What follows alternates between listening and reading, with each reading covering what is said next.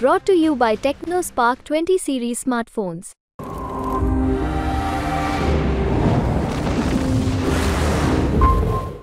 राजस्थान ही नहीं, पूरे देश की सबसे चर्चित सीटों में से बाड़मेर जैसलमेर, जहाँ पर महज औपचारिक घोषणा बाकी है। कांग्रेस से उम्मीदवार राम बेनीवाल है, वो जीत गए हैं।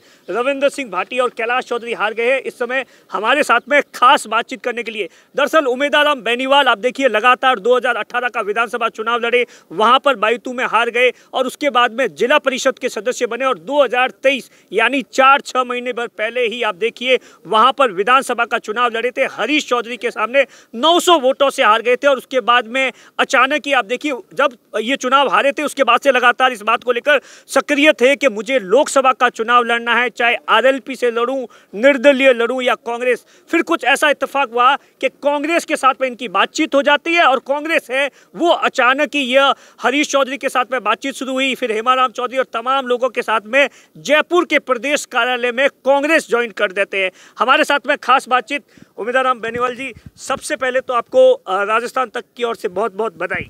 धन्यवाद बोरासी आपको भी बहुत बहुत धन्यवाद बहुत बहुत बधाई। कैसा रहा संघर्ष? मतलब जिस तरीके से चुनाव के अंदर आप राजनीति के अंदर सक्रिय है पिछले पाँच सात साल कैसे रहे?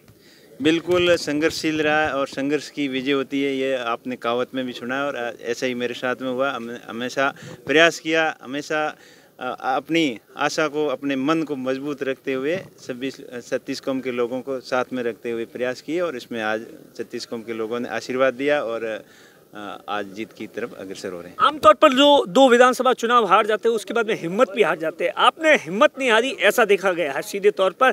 कभी ऐसा लगा कि नहीं अब ठीक है यार जो ने दो विधानसभा हार गए अब छोड़ दो राजनीति वापस जो आप बिज़नेस वगैरह करते हैं उन तमाम चीज़ों को लेकर। देखिए चुनाव तो ज़रूर हार गए थे दो विधानसभा के, लेकिन जनता का मन जीतने के अंदर कामयाब हुए और जहाँ भी, जब भी लोगों के बीच में जाते थे तो नई ऊर्जा मिलती थी, ताकत मिलती थी। लोग हमेशा यही कहते थे कि उमेश जी, आप संघर्ष करो, हम आपके साथ में उसी संघर्ष का परिणाम है कि आज बाड़मेर जैसलमेर का प्रत्येक छत्तीस कौम का लोग खुश हैं जीत को लेकर। 2023 विधानसभा चुनाव हारने के बाद में आप लगातार इस बात को लेकर सक्रिय थे कि मुझे लोकसभा का चुनाव ये टाइम कैसे रहा? किस तरीके से कांग्रेस में आप कांग्रेस ज्वाइन की और उसके बाद में कांग्रेस के साथ में आपका सफ़र कैसा रहा और कांग्रेस में आते ही आप सांसद बन गए? देखिए हमेशा लोगों के साथ में मिलजुल कर रहना मेरी शुरू से आदत थी और अपने को कमज़ोर नहीं समझा। हमेशा संघर्ष करते रहे और इसी संघर्ष का परिणाम है कि धीरे धीरे ऐसे वाक्य बनते गए और लोगों का मन था।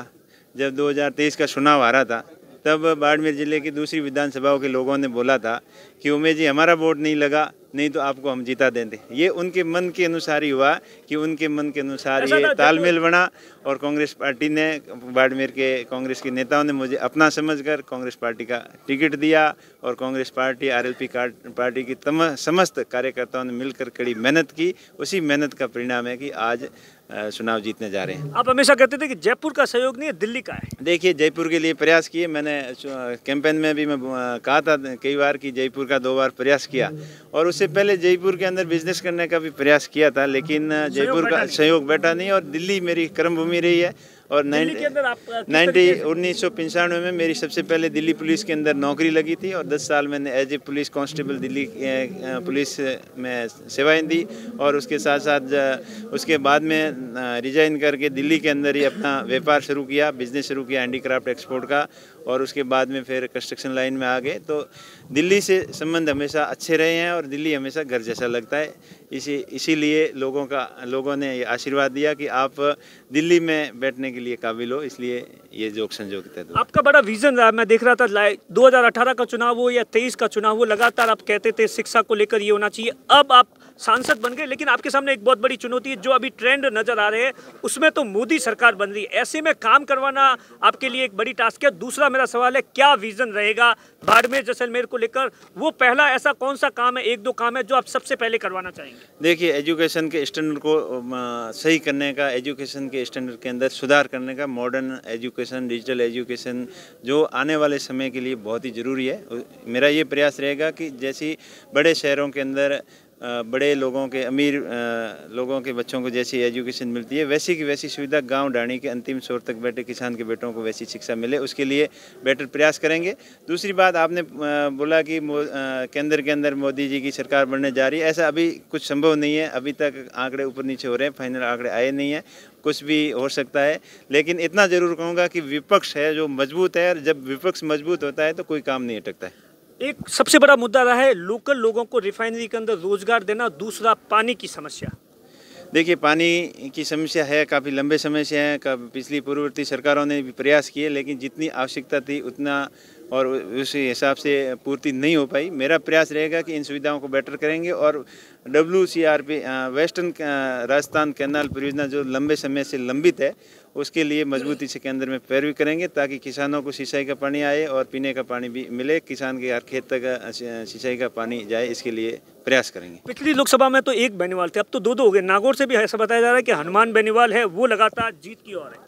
देखिए सबसे पहले तो वो जीत रहे हैं उनको जीत की बहुत बहुत शुभकामनाएँ और दोनों मिलकर प्रयास करेंगे राजस्थान के विकास के लिए और कांग्रेस के के अंदर आप जीत का श्रेय किसको देंगे? हेमाराम चौधरी थे वो आपके साथ में कंधा मिलाकर चल रहे थे हरीश चौधरी थे बाकी भी नेता थे। देखिए सबने अपनी अपनी भूमिका मजबूती से निभाई। हरीश जी ने अपना छोटा भाई समझ के आशीर्वाद दिया। हेमाराम जी और कर्नल साहब ने अपना बेटे समाज समझ कर पूरी मेहनत की और बाकी जो नेता हैं रूपाराम जी है पद्माराम जी है और बाड़मेर के नेता है, साले मोहम्मद जी है, फतेह खान जी है सुनील जी है, मदन जी है सबने बेस्ट प्रयास और इसके साथ साथ तमाम बूथ लेवल के कार्यकर्ताओं से लेकर सीनियर प्रमुख प्रधान पंचायत समिति सदस्य जिला परिषद सदस्य जो भी कांग्रेस पार्टी की पदाधिकारी है सबने मिलकर दिन रात कड़ी मेहनत की जिसकी का ये परिणाम आज रविंद्र सिंह भाटी भी आपके साथ में थे। किस तरीके की बातचीत हुई और लोगों को क्या संदेश देना चाहेंगे आप दोनों के बीच में? क्योंकि जब तीन चार महीने पहले मैंने देखा था आप दोनों के साथ में एक फ़ोटो भी देखा था। हाँ दी अ, रविंद्र जी और हम वैसे पहले भी मिले थे आगे भी मिलते रहेंगे। हमारे व्यक्तिगत संबंध अच्छे थे अच्छे रहेंगे।